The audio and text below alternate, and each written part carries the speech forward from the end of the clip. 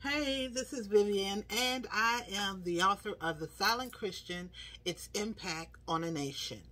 And how is that silence shown? It's shown when our voices are not heard and our actions are not seen. Welcome back to the Silent Christian No More podcast. Today, I want to talk about the subject, Let Us Run. And this comes from Hebrews, the 12th chapter, and the first verse. And it says this Therefore, we also, since we are surrounded by so great a cloud of witnesses, let us lay aside every weight and the sin which so easily ensnares us, and let us run with endurance the race that is set before us. All of us have a race to run. And it's time for us to get moving, to get started. But the first thing it tells us that we have a great, so great a cloud of witnesses. And some people say that these witnesses are the champions of faith, which is found in the previous chapter in Hebrews 11. But it also, I believe, includes other great women and men of God who have passed on to glory. Some people will call them our ancestors are there cheering us on and edging us on to get into the race, to start doing, start doing it or start being about it and not just talking about it. It said we're surrounded by a great cloud. So every time you look up in the sky and you see those clouds up there, there is a cloud of witnesses that are be, be um, up above us, like in a stadium. That's the way I like to imagine it. I'm in this stadium and I'm running this this race and I have all of these people. They're surrounded. I mean, they're on every side. They're surrounding me saying, go Vivian, go, go Vivian, go. And, you know, my son used to play football and I'm the loudmouth one in the crew. And I asked him one day, I said, Mom, I mean, I said, Mikey, can you hear me um, up in the stands? He's like, yes, Mom. Everybody hears you. I said, well, one thing I noticed when I'm screaming in the crowd, y'all play better. So this great cloud of witnesses is there cheering us on so that we can run this race. And he tells us that, he then tells us that we need to lay aside the weight of sin that ensnares us. And sin can come in all different forms.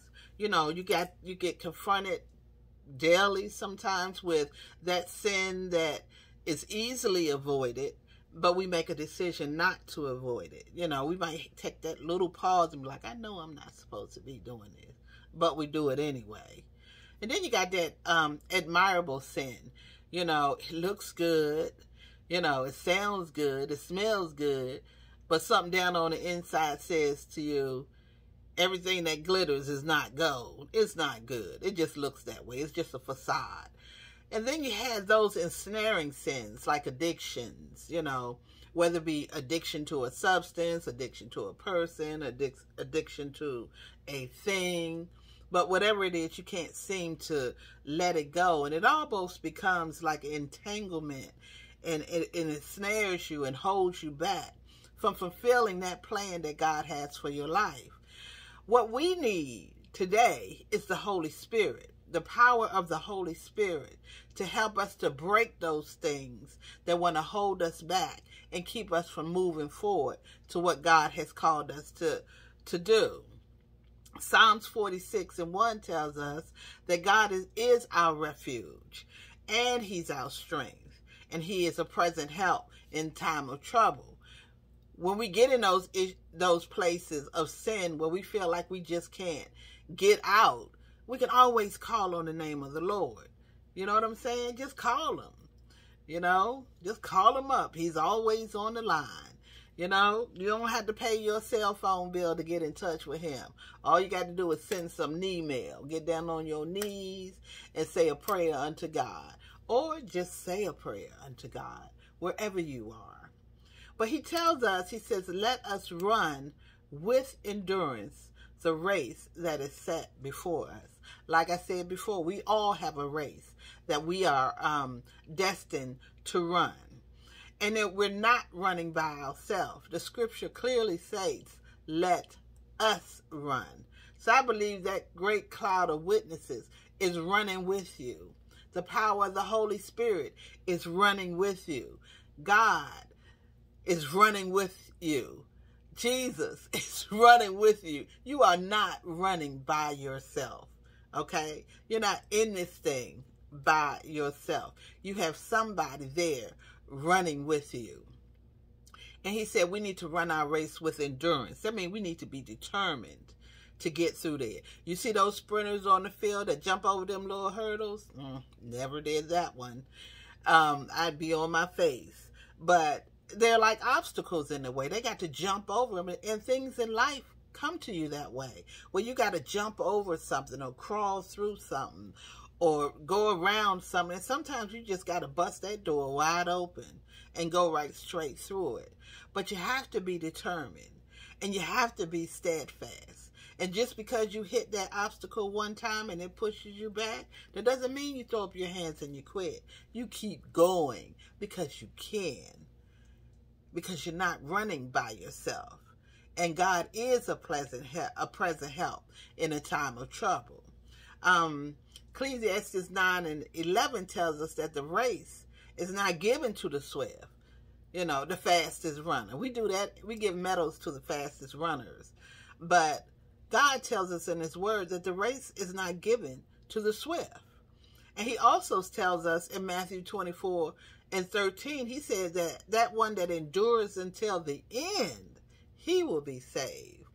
And another reminder that is in the Word of God is in Matthew 20 and 16, which says, The first shall be last, and the last shall be first.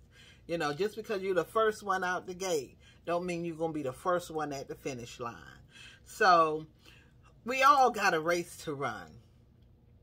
The next verse tells us that we need to keep our eyes on Jesus. He said, let us, um, looking unto Jesus, the author and the finisher of our faith, who for the joy that was set before him endured the cross. He endured it.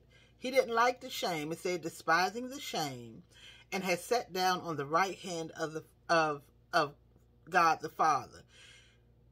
We got to keep our eyes on Jesus, not our eyes on what's going on around us, what Tom, Dick, or Harry is doing, or Sally, Sue, and Jane is doing. We need to keep our eyes on Jesus because all of those things going on around us are just distractions. And we cannot be distracted when we're in the midst of a race. So today I tell you, we all have a race that we have to run. It's already, God said, I know the plans that I have for you. He said, I know what they are, but you need to know what they are. But what I want you to take away from the video today is know that there is a great cloud of witnesses that are out there edging you on. They want the best for you. Okay? You're not running in this race by yourself. Lay aside the weight of sin that it, that ensnares you. Because all it's doing is just slowing you down. You caught up in something, just keep moving, keep pushing, keep trying. Don't give up. Don't give out. You can do this thing. And run with endurance. Be determined. I'm determined no matter what, I'm getting through this thing.